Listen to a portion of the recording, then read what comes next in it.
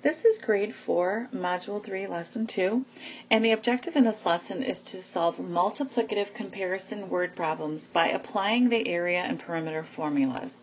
So we're going to look at homework problem number 2, and it reads, a poster is 3 inches long, it is 4 times as wide as it is long.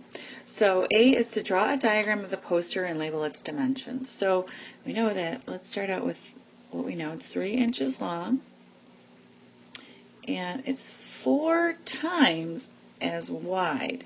So that means that this would be 4 times 3, which is 12. So this is 12 inches wide. Okay. So to find the perimeter and the area, we're going to start with the perimeter, and the formula is 2 times the length plus width, which is 2 times 3 plus 12.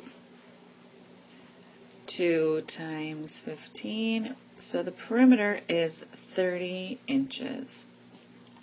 Area is length times width. So we're going to multiply 3 times 12.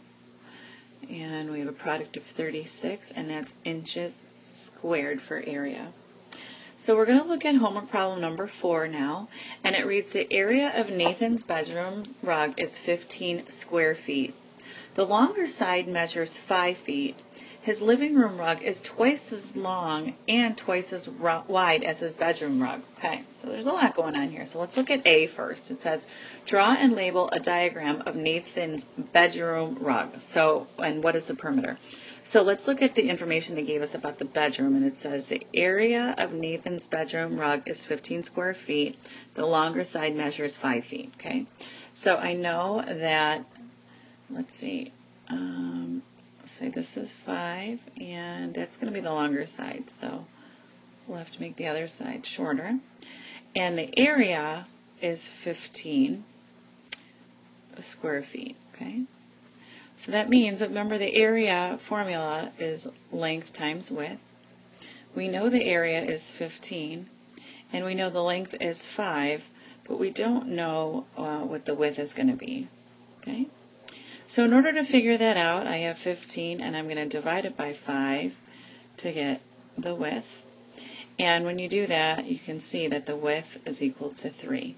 And the unit that we're working with is feet. Okay.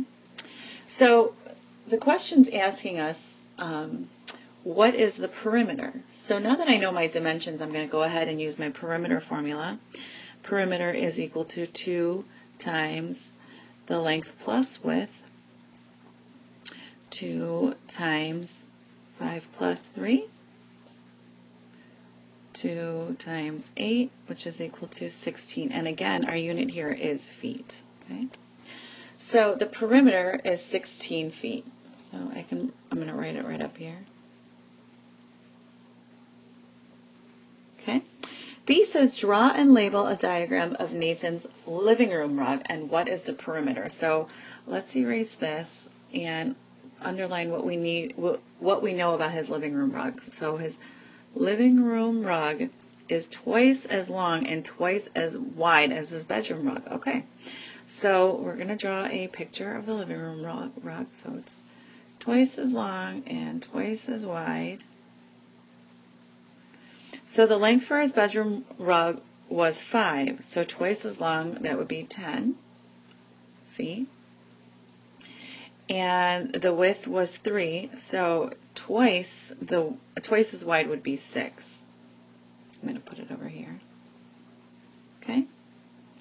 So now it's uh, for B, it's asking us to find out what the perimeter is. And again, perimeter is 2 times length plus width, 10 plus 6, 2 times 16. So our perimeter is equal to 32 feet.